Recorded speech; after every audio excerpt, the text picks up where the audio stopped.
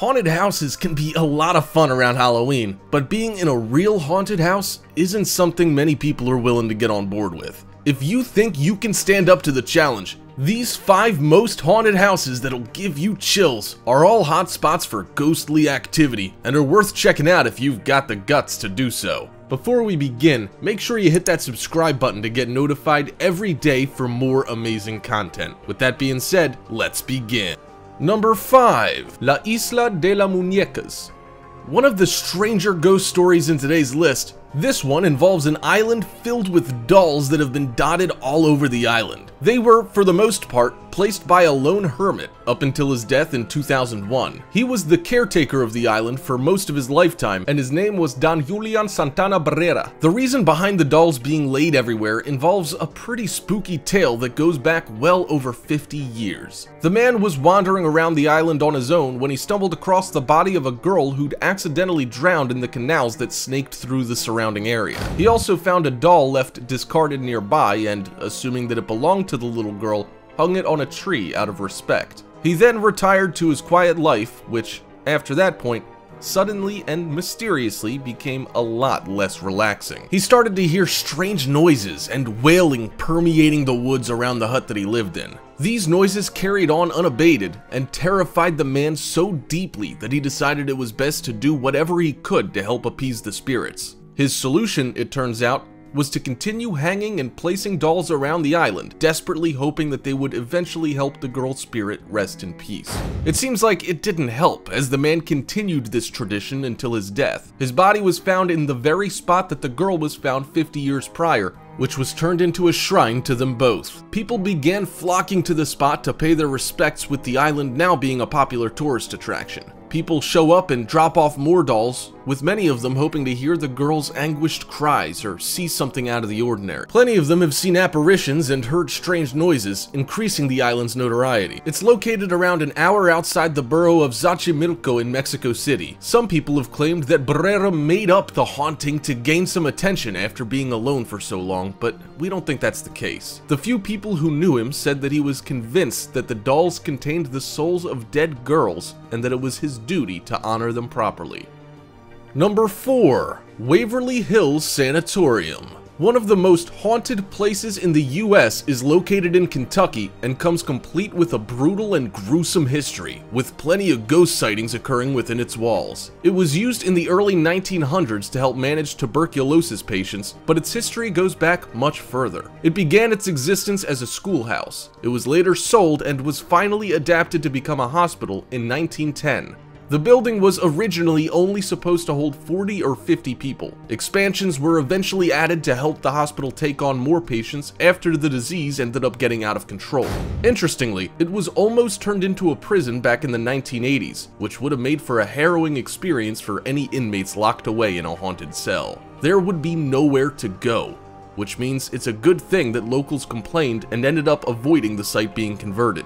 There are plans to turn the site into a hotel and convention center, which would similarly be a bad move if these hauntings happen to be real. We wouldn't doubt it, as the treatments that patients received were pretty rough and amounted to what was pretty much torture. Doctors didn't really know how to treat the disease, with options becoming more and more intense. Room 509 alone saw two nurses supposedly commit suicide under strange circumstances. One was found hanging from the light fixture, and the second jumped off a patio, although some people claim that she might have been pushed. Many ghosts haunt its halls, with the most fiendish being known as the Creeper. It's supposed to be one of the most terrifying things known on Earth, with victims who managed to escape saying the feeling they experienced while in its presence was downright terrifying. The ghosts from the aforementioned room 509 also features more than the others, with the first woman the one who hung herself, supposedly still haunting that very spot to this day. She can be seen in an infamous photo taken by ghost hunters that's very hard to explain away as anything other than seriously creepy paranormal activity. The Waverly Hills Sanatorium is known all over the world and has made its way into the plots of many horror movies and TV shows for very good reason. It's a spooky place, and we wouldn't want to get too close to such a ridiculously haunted place.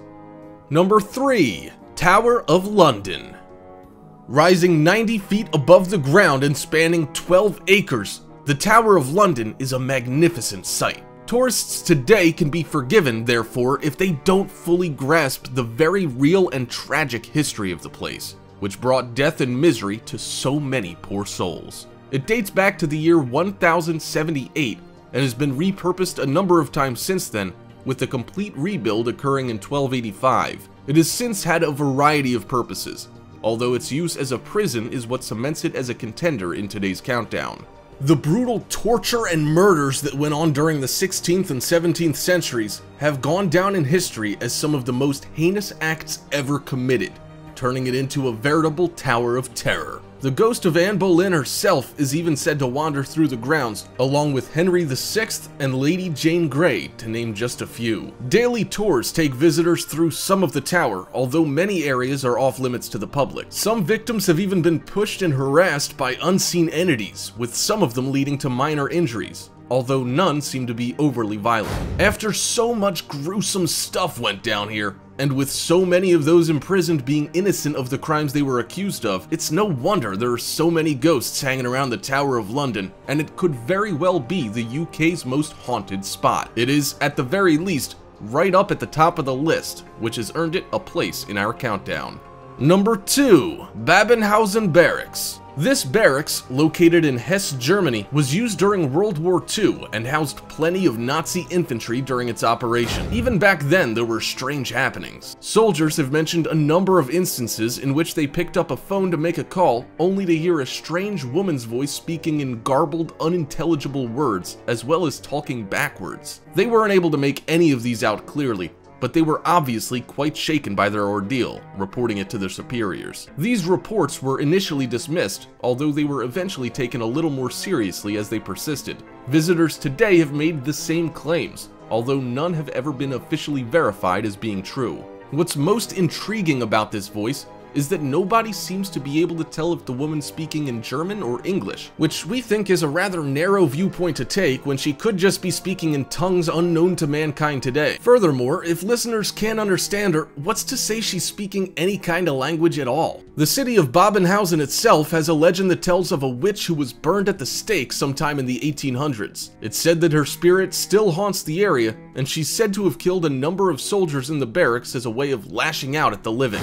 A witch's ghost being a Nazi hunter sounds like something we can live with, but the reports of German soldiers in uniform that are sometimes seen lurking in the halls is a different story entirely. We get that not all Nazis were necessarily terrible people, with many people having no choice in the matter. But if we saw the ghost of a Nazi walking towards us in a dimly lit hallway, especially if he was also in uniform, we'd lose our minds and tear out of there looking like we'd gone completely insane. Babenhausen was also the site of a brutal mini-civil war that was waged between the last two of a family that were in line to inherit the land the city was built on. This was quite a brutal conflict, and it aptly sums up just how much bloodshed occurred in the area making it an unsurprisingly busy place as far as ghosts are concerned.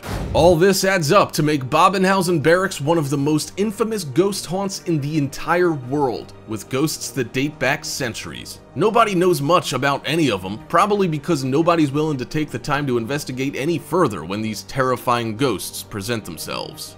Number 1. Lawang Sewu this national landmark in Indonesia was originally the headquarters for the East India Trading Company and has a long and storied history. Construction was completed in 1919. It's a massive building and the grounds and its name means thousand doors. This is a pretty apt description, as it's filled with doors and archways. It has just as many ghosts that haunt it, with some visitors even dying after they ventured within. We don't know for sure if these deaths were connected with the haunting, but many people are convinced that they most undoubtedly are. It even has an extensive network of secret underground tunnels that are quite mysterious themselves, connecting the building with many different parts of the city, including the governor's house and strategic locations along the harbor front. When the Japanese occupied Indonesia, the building was used as a prison and place of torture, with countless people losing their lives in horrible ways. They were tortured and murdered, with plenty ending up being beheaded. One of the most prominent ghosts is that of a girl who supposedly committed suicide to escape the brutal torture She's said to roam the tower, and most eyewitnesses have confirmed that she floats around without touching the ground, projecting an air of terror and despair. When it was first constructed, the building was seen as an architectural marvel, with it gaining high praise from some very important figures. Its beauty was then repeatedly desecrated and sullied throughout the years, and the intense torture that so many people suffered through cemented its fate. The number of ghosts that have been seen in the building are uncountable, with estimates ranging from dozens to the hundreds. Most ghosts seem to be relatively peaceful, but the visions people have seen are pretty worrying, and we'd be scared to death if we ran into many of them. The building has been featured on a number of paranormal TV shows, with plenty of photo and video evidence to back up the abundance of claims that people have made regarding spooky goings on. Some of the ghosts, however, do get violent, with visitors reporting being pushed around, scratched, and bruised. There's also the belief that people have died after being cursed during visits, with one of them being a quite prominent paranormal investigator, ensuring Lawang Sewu's legacy as a deathly disturbing haunted house. Alright, Top Fivers, we have something very exciting for you to see. Make sure to visit our other channel, The Brilliant. If you like what we have on Top 5's Finest, then we know you will love what we have there too. But be warned, the videos over on The Brilliant are extremely addicting to watch as well. There will be a link in the description to the Brilliant channel, so make sure to visit us now. Or you can go to our latest video popping up on screen right now. Come on, click it. You know you want to. Oh, and while you're here, subscribe also. Heard it gives you superpowers. Anyway, see you soon.